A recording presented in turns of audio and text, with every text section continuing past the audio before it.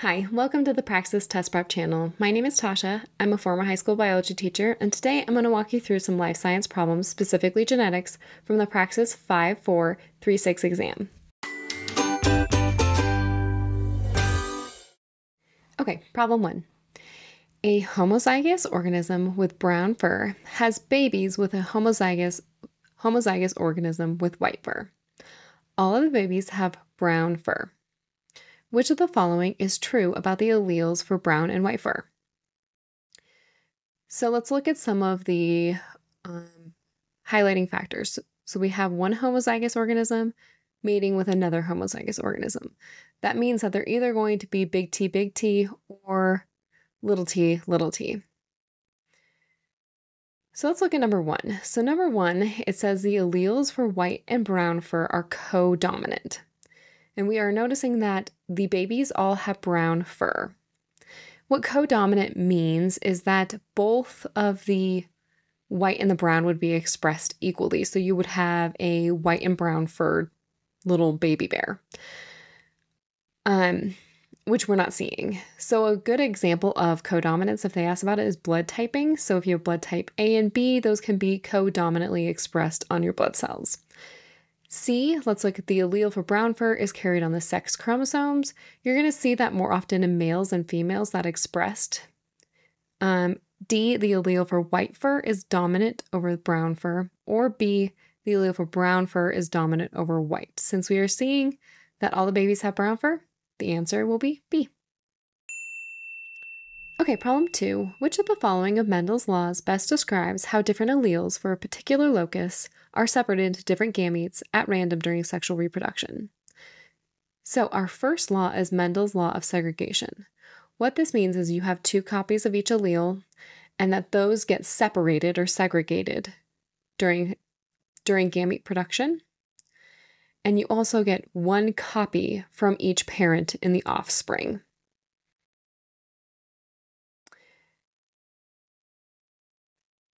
B is Mendel's law of dominance. This we see in question number one, where we had the brown fur organism that was dominated over the white fur organism. So when you see one phenotype or how the organism actually looks expressed.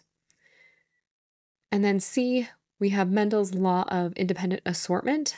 That means that when you have a two pairs of traits or two traits they are independent of each other. So one is not linked to the other one. You will sometimes see this with sex linked traits, but not necessarily in Mendel's laws.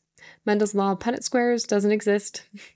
so when we're looking at the specific examples of this problem, we have different alleles on a particular location, which is locus. They separate into the different gametes. So our answer is Mendel's law of segregation. Okay, on to our next problem. A sample of deoxyribonucleic acid was taken from a biotechnology lab for further analysis in the determination of an organism's genome. So, just a reminder that that deoxyribonucleic acid is DNA. The following sequ- sequence was determined 5' to 3', so it's TAGGC, so thymine, adenine, guanine, guanine, cytosine, cytosine. Which of the following sequences given below best depicts the sequence of complementary DNA strand written 5' to 3'? So that's going to be our key here. This is a little bit of a tricky problem. So let's write that sequence that we know. So we have that thymine, adenine, guanine, guanine, cytosine, cytosine, and again, that is 5' to 3'. We know the complementary strand of DNA is going to be the exact opposite, so it's going to run 3' to 5'. So let's match these up. So thymine bonds to adenine. And just a reminder there that's like sticks to sticks and curves to curves. And guanine bonds with cytosine. And again, you have it there. But remember that this strand, we can't just say that this is the answer because this is 3' prime to 5', prime, and they're asking specifically for 5' prime to 3'. prime. So let's look at the one that is going to be the exact reverse of this order. So it's going to go GG, C, C, TA, and that is going to be our answer. So our answer is actually going to fall under D is GG, CCTA. So D is our final answer. Okay, so problem number four a gene required for the structure and function of hemoglobin has the following partial sequence in the wild type. So it's GTAGTC.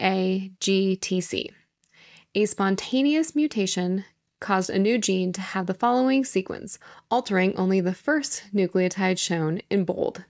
So we see that G has been turned to T. Which of the following best describes the mutation observed in this in this gene? So let's look at the our options. We have substitution, and that is replacing one gene with another. And then we have B, that is assortment. So assortment doesn't actually exist as a mutation, so we can cross that off. C, insertion, that would be when you were inserting a nucleotide in the sequence and kind of shifting that codon over. And deletion is deleting a nucleotide and also shifting it the other way. So, what we're seeing in here is we're actually seeing that replacement, so that thymine is replaced. So, we have A, substitution is going to be our answer. So, yeah, guanine is, re- is replaced by thymine. So, A, substitution is the correct answer. I hope this is helpful. If you're looking for more ways to study, check out study.com. There's more videos and the Praxis Test Prep course. As a study.com member, you get full access to hundreds of practice problems like the ones I just walked you through as well as some targeted instruction for some topics you might still be struggling with, along with some test taking strategies to help you maximize your score on test day.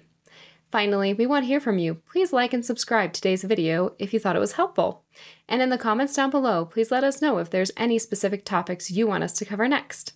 Good luck and happy studying!